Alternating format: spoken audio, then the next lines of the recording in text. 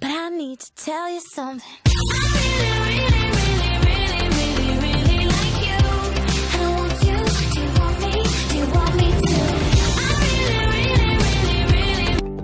Hello guys welcome to the news तो guys आज हम बात करेंगे कैप्टन मार्वल के आर्ट वर्क के बारे में, जो कि अभी हाल ही में रिलीज़ हुआ है और काफ़ी ज़्यादा वायरल हो रहा है। अगर आपको नहीं पता है तो वो मेरा आर्ट वर्क आपको इस वीडियो के बाद फेसबुक पे मिल जाएगा, जिसे मैं पिनअप कर दूँगा।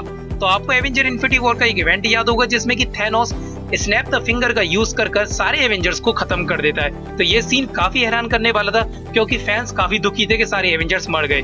बट उसके बाद हमें एक पोस्ट क्रेडिट सीन दिखाई दिया, जिसमें कि न्यूक फ्यूरी मारिया हेली एक साथ थी और न्यूक फ्यूरी ने एक डिवाइस से कैप्टन मार्वल को संदेश भेजा।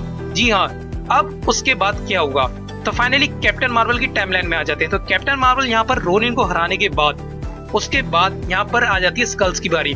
तो यहाँ पे स्कल्स हर किसी का रूप लेके रह रहे होते हैं। जी हाँ एवेंजर्स का भी, और देन ह्यूमंस का भी, और देन उन सबों को खत्म करने के बाद हमारी कैप्टन मार्वल स्पेस में चली जाती है, और वो वहाँ पर स्पेस वॉर लड़ रही होती है। जी हाँ और ये है वो सीन तो जिसमें कि वो स्कल से लड़ रही है, और देन स्कल से लड़ते लड़ते स्कल से एकदम अचानक गायब हो जाते हैं। तो वो होता है स्नैप द फिंगर के चक्कर में। यहाँ पर कैप्टन को मिलता है एक संदेश, वो होता है निक फ्यूरी का, जो कि होता है फ्यूरी कोड बस सिंपल दैट्स इट तो ये आर्ट वर्क हमें काफ़ी सारी डिटेलिंग वर्क देता है। और देन उसके बाद एवेंजर इन्फिनिटी वॉर के इवेंट में, यानी कि एवेंजर फोर में थैनोस की मार पड़ती है।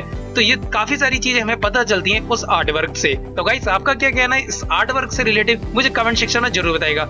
और देन गाइस आपको ये वीडियो पसंद आए तो प्लीज़ लाइक कमेंट शेयर करो। जो बंद इस वीडियो को नहीं देख रहे हो, या तो उस पर रेड हल के हाथ मारो या पैर मारो। सब्सक्राइब करो। बाय जा रहा हूँ।